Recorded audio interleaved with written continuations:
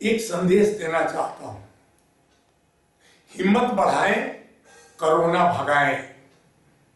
आज पूरी दुनिया में जितने भी लोग हैं, सभी के सभी भयभीत हो गए हैं कोरोना से।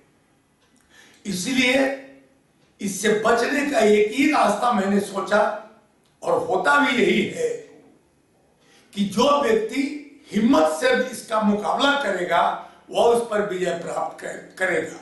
कहावत है, हारा वही जो ठीक से लड़ा नहीं। हम लड़ने के लिए तैयार हैं। आज पूरी दुनिया में इसके विरुद्ध में लोग लड़ रहे हैं। भारत में भी लड़ाई शुरू हो गई है और हमारे बिहार प्रांत के सरकार ने भी पूरी तरह से हिम्मत से इस युद्ध के लिए अपनी घोषणा कर दी है।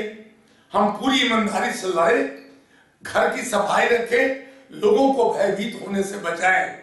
एक छोटी सी बात मैं कहना चाहता हूँ। किसी गाँव में एक संत रहता था। रात के 12 बजे उस संत ने देखा कि एक छाया गाँव की तरफ़ जा रही है। संत ने पूछा, तुम कौन हो? छाया की तरफ़ से आवाज़ आई, मैं मौत हूँ। इस गाँव से 100 लोगों को मारना है। संत चुप हो गया। छाया चली गई। तीन दिन के बाद छाया लौटी। संत ने फिर पूछा कि तुम कहा गए थे? तो उसने कहा कि मुझे सौ आदमी को मारना था। संत ने जवाब दिया, लेकिन यहाँ तो 200 लोग मार गए। कहा कि मैं क्या करूँ? मैं तो सौ आदमी को मारने गया था। एक सौ आदमी डर से मर गए।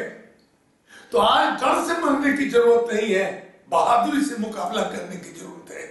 आज मैं तमाम लोगों से निवेदन करना चाहता हूँ कि बाहर के लोगों के संपर्क में हम लोग न रहें, बाहर के लोगों से दूर रहें, और जहाँ कहीं भी विदेशी लोग आते हो, विदेशी जो या कोरोना पीड़ित लोग आते हो हम उनसे दूरी बनाकर रखें और अपने घर की सफ़ाई, महिलाओं के हिम्मत बढ़ावे, बच्चों को हिम्मत बढ़ावे, परिवार के लोगों को स्वस्थ रखें, पौष्टिक भोजन करें, मांसाहार का निषेध करें। ऐसी परिस्थिति जिस दिन हम लोग कर लेंगे, हमारे समाज से कोरोना का भय लुप्त हो जाएगा। और मैं तमाम प्रबुद्ध लोगों से समाज के प्रबुद्ध लोगों से अनुरोध करता हूँ कि सब लोग मिलकर अपने मोहल्ले में, अपने गाँव में सब लोग इस चीज़ का प्रचार करें, प्रसार करें कि यह कोरोना कोई परमात्मा का दिया हुआ आफत नहीं है।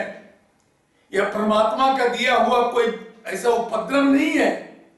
यह मैन मेड है। हमने बनाया है।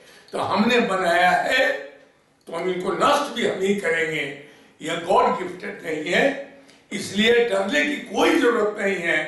केवल हिम्मत चाहिए हमारे पास, ताकि हम इस बीमारी से मुकाबला कर सके। हम अपने मित्रों से अनुरोध करते हैं कि अपने अगल बगल के लोगों में भी यह जो अफवाहें फैल जाती है, उसको रोकें। बच्चों को हिम्मत बढ़ावें, उनके साथ खेले, कूदे, पौष्टिक भोजन करें। सफ़ाई पर विशेष ध्यान दें, घर बार चारों तरफ़ से सबके व्यवस्था करें और इस बीमारी को जितनी जल्दी हो सके खदेड़ के बाहर निकाल दें।